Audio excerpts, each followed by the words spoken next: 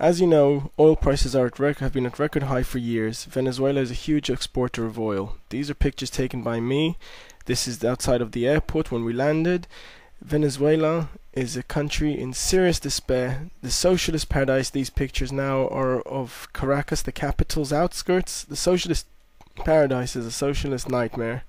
Everything is terrible there. Crime is through the roof. Uh, unemployment's through the roof. Everything has gotten so much worse during the time they've had more oil revenues than ever.